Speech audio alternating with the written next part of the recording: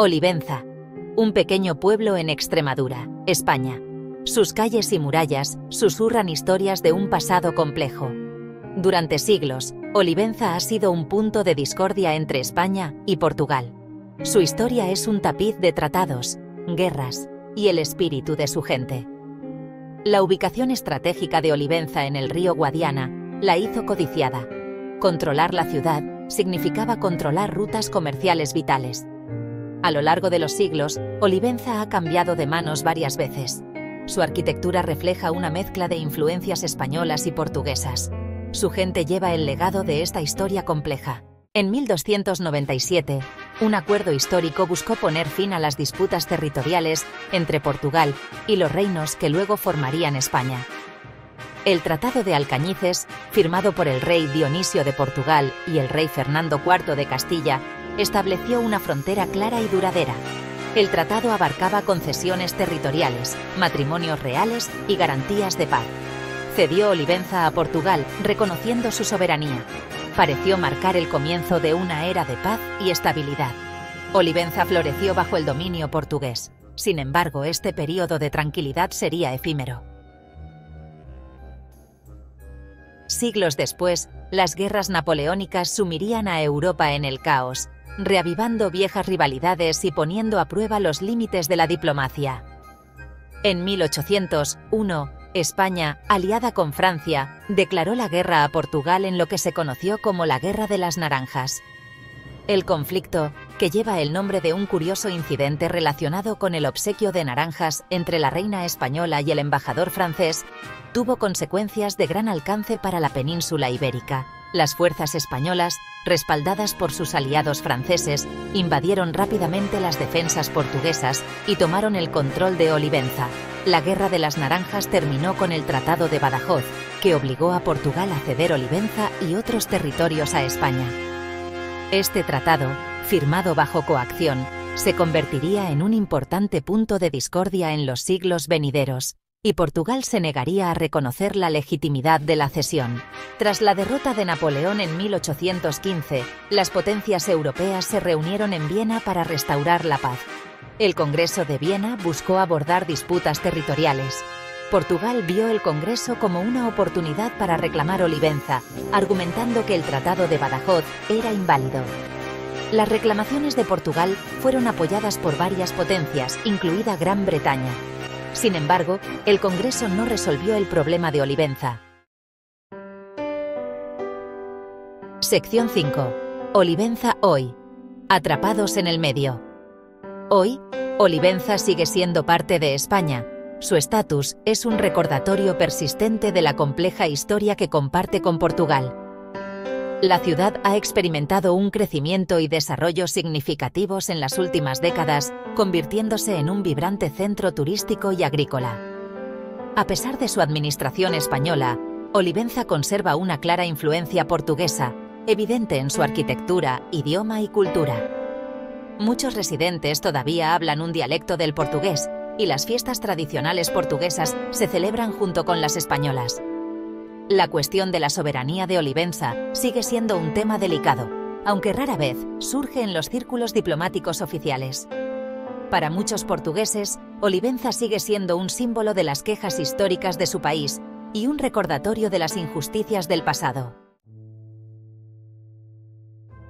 Sección 6. La perspectiva portuguesa. Una cuestión de historia e identidad. Para Portugal, el tema de Olivenza no es simplemente una disputa territorial, sino una cuestión de justicia histórica e identidad nacional. La ciudad, argumentan, fue tomada injustamente por España y sigue siendo parte integral de la historia y la cultura portuguesas. El gobierno portugués ha mantenido constantemente su derecho a Olivenza, citando el Tratado de Alcañices y el Congreso de Viena como prueba de su legítima propiedad argumentan que el Tratado de Badajoz, que cedió Olivenza a España, se firmó bajo coacción y por lo tanto no es válido según el derecho internacional. Más allá de los argumentos legales, el caso portugués para Olivenza está profundamente arraigado en un sentido de historia y identidad cultural compartidas. Señalan el patrimonio arquitectónico portugués de la ciudad, los lazos lingüísticos y las conexiones culturales duraderas entre Olivenza y Portugal. Sección 7. La perspectiva española. Una cuestión de legalidad. España, por su parte, sostiene que su soberanía sobre Olivenza es legítima y se basa en tratados internacionales establecidos. Argumentan que el Tratado de Badajoz, a pesar de haber sido firmado después de una derrota militar para Portugal, fue un acuerdo válido que resolvió la cuestión de la propiedad de Olivenza. Además, España enfatiza el contexto histórico que rodea la disputa, destacando que Olivenza había estado bajo dominio español durante periodos significativos antes del Tratado de Alcañices argumentan que la incorporación de la ciudad a España es un reflejo de la historia compleja y a menudo controvertida de la región. El gobierno español también señala las realidades prácticas de la situación, señalando que Olivenza ha estado totalmente integrada en España durante más de dos siglos. Argumentan que cualquier intento de alterar el statu quo sería perjudicial y poco práctico. Sección 8. La vida en Olivenza. Una mezcla de culturas. Atrapados en medio de este tira y afloja histórico, se encuentra la gente de Olivenza. Viven con una identidad dual única, abrazando su herencia española y portuguesa. Muchos residentes hablan ambos idiomas con fluidez, y la vida cultural de la ciudad refleja una mezcla de tradiciones españolas y portuguesas. A pesar de la sombra persistente de la disputa, Olivenza ha logrado fomentar un fuerte sentido de comunidad. Los residentes se enorgullecen de la rica historia y la mezcla cultural única de su ciudad, y la ven como una fuente de fortaleza en lugar de división.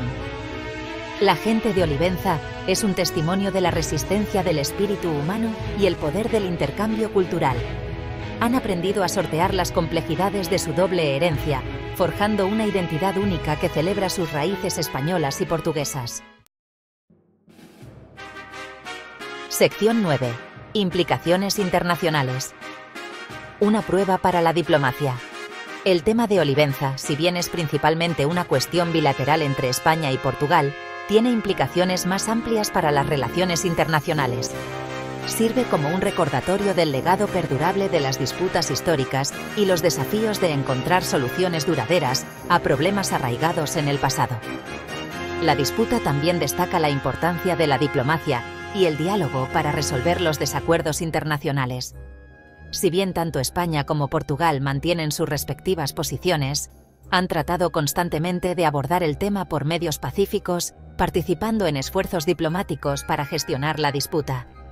El caso de Olivenza sirve como prueba para el derecho internacional y los mecanismos para resolver disputas territoriales, subraya la necesidad de marcos legales internacionales claros y aplicables para abordar las injusticias históricas y evitar que surjan conflictos similares en el futuro. Sección 10. Posibles resoluciones. ¿Un camino hacia la reconciliación? Encontrar una solución mutuamente aceptable al problema de Olivenza sigue siendo un desafío, pero a lo largo de los años se han propuesto varias vías potenciales para su resolución. Estos van desde mantener el statu quo hasta explorar soluciones creativas que reconozcan los intereses de ambos países. Una opción es que España reconozca formalmente el derecho histórico de Portugal a Olivenza, mientras mantiene su administración actual. Esto podría implicar gestos simbólicos, como la soberanía conjunta o la creación de un estatus especial para la ciudad que reconozca su patrimonio único. Otra posibilidad es mejorar la cooperación transfronteriza y el intercambio cultural entre Olivenza y Portugal. Esto podría implicar iniciativas para promover la lengua y la cultura portuguesas en Olivenza, así como proyectos conjuntos de desarrollo económico que beneficien a ambos lados de la frontera. Sección 11. El futuro de Olivenza. ¿Un destino compartido? El futuro de Olivenza probablemente radique en su capacidad para abrazar su doble herencia y servir como puente entre España y Portugal. En lugar de ser una fuente de división, la historia y la mezcla cultural únicas de la ciudad pueden convertirse en un catalizador para la reconciliación y la cooperación. Al fomentar el diálogo, promover el intercambio cultural y explorar soluciones innovadoras, España y Portugal pueden trabajar juntos para crear un futuro para Olivenza que honre su pasado mientras construyen un futuro más integrado y próspero para su gente. La historia de Olivenza nos recuerda que la historia no es estática, e incluso las disputas más arraigadas pueden encontrar soluciones pacíficas a través del diálogo, la comprensión y la voluntad de abrazar la herencia